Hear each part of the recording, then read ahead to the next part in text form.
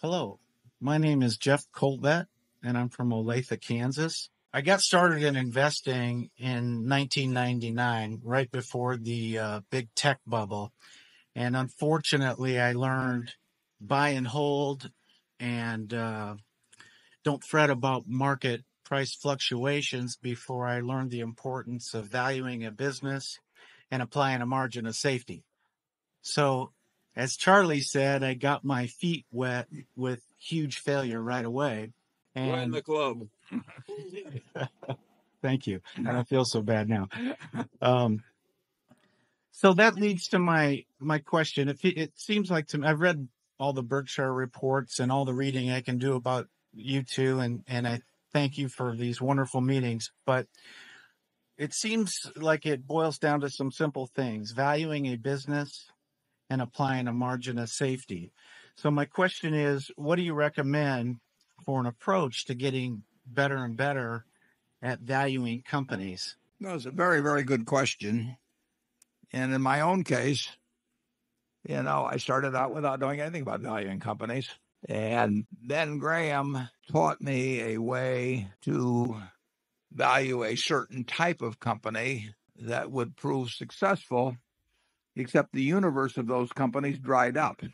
But nevertheless, it it, it was almost a guarantee against failure, but it wasn't it was not a guarantee that these things would continue to be available. Charlie taught me a lot a, a lot about the value of a durable competitive advantage and, and and a really first class business. But over time, I've learned more about various types of businesses. But you'd be amazed how many businesses I don't feel that I understand well. Uh, the biggest thing is not how big your circle of competence is, but knowing where the perimeter is. If you you don't have to be an expert on 90% of the businesses or 80% or 70 or 50, but you do have to know something about the ones that you actually put your money into. And if that's a very small part of the universe, that still is not a killer. And I I think if you think about what you would pay for a McDonald's stand, what you think you would pay for, you know, think about the businesses in your own hometown of mm-hmm. Olathe. You know, which would you like to buy into? Which do you think you could understand their economics? Which do you think will be around 10 or 20 years from now? Which do you think it would be very tough to compete with? Just keep asking yourself questions about businesses. Talk about with other people about them. You will extend your knowledge over time. And always remember that margin of safety. And I think you basically have the right attitude because you do you recognize your limitations, and that's enormously important in this business. You will find things to do. Six or seven years ago, maybe not that long, yeah, six or seven years ago, when I was looking at Korean stocks, for example, I never had any idea that Korean stocks would be something that I would be buying. But I looked over there and and I could see that there were a number of businesses that met the margin of safety test. And there I diversified because I didn't know that much about any specific one. But I knew that a package of 20 was going to work out very well, even if a crook might run one of them and a couple might run into competition I didn't anticipate because they were so cheap. And that was sort of the old Graham approach. You will find opportunities from time to time. And the beauty of it is you don't have to find very many of them. Charlie? Well, obviously, if you want to get good at something, which is competitive, you have to think about it a lot and learn a lot and practice doing it a lot. And the way the world is constructed in this field, you have to keep learning because the world keeps changing and your competitors keep learning. So you just have to get up each morning and try and go to bed that night a little wiser than you were when you got up. And if you keep doing that for a long time and and accumulate some experience, good and bad, as you try and master what you're trying to do. People that do that almost never fail utterly. They may have a bad period when luck goes against them or something, but very few people have ever failed with that. If you have the right temperament, you may rise slowly, but you you're sure to rise. Charlie, did you take any business courses in school? None. I took accounting. And when did you start valuing businesses? And how'd you go about it? when I was a little boy. I can remember I would come down to the Omaha Club, and there was an old gentleman who hit the Omaha Club about ten thirty every morning. He obviously did almost no work, and yet was quite prosperous. he became your ideal. huh? Yeah, so well, but he made me very curious as a little boy. I said to my father, "How in the hell does he do that?" And he said, "Charlie, he's in a business where he enjoys practically no competition. He gathers up and renders dead horses." Well, that was an example of avoiding competition by one stratagem. And if you keep asking questions like that of reality, starting at a young age, you gradually learn. And were you were doing the same thing? Well, yeah, thankfully he extrapolated, he went beyond his original insight there. But uh, I noticed it's rather interesting.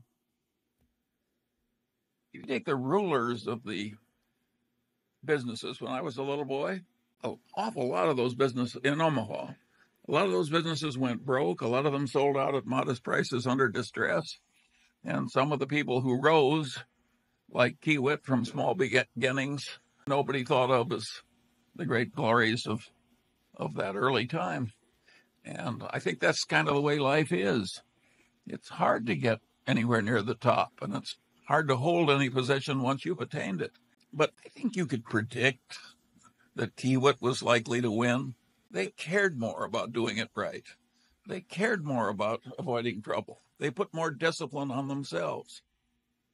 Well, if you And knew if- the if you knew the individual well, you would have you would have bet right. What? If you knew the individual, uh, Pete himself. I would not have bet on any of the people I knew who were already wealthy, but I would have bet on Pete Kiewit. His sister taught me math, and and no, half Dutch, half German. You know, this is a tough culture, and There's your there. You've just heard it, folks. Half Dutch, half German.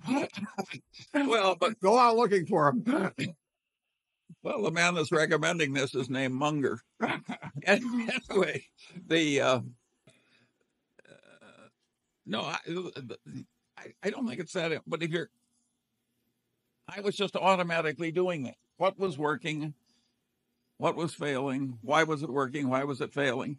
If you have that temperament, you are gradually going to learn. And and uh, if you don't have that temperament, I can't help you. If you'd followed Pete Kiewit around for 10 years, you never would have seen him do anything dumb, right? Oh yeah, and so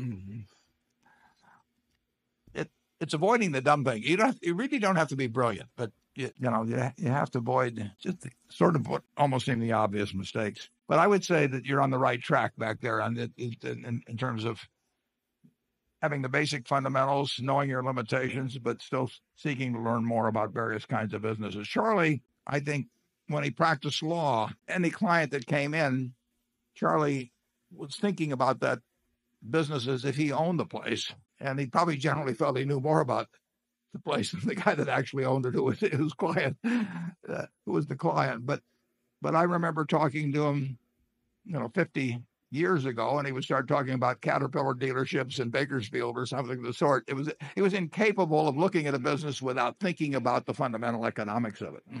How'd that guy do with the Caterpillar?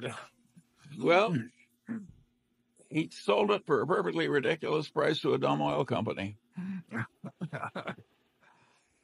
It, was, it wasn't worth half what he got for it. But they had a concept and a strategy. They had a concept and a strategy, and no doubt they had consultants.